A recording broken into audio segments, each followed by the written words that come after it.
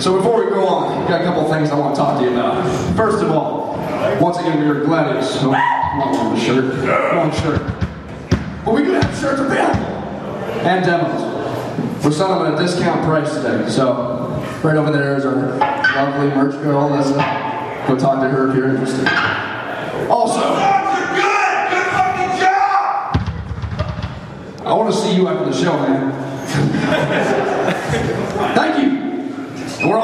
Medford tomorrow night.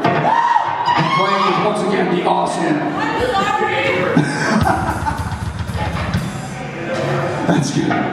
Playing with the Immortal Cauldron for a second time. So any of you, I know a few of you here from the Southern Oregon area, if you're out there, feel free to stop by the music den. But until then, we got more material for you. There's no one that's going to be on our album, which we're going into the studio for very soon. It's called Crimson Eradicator.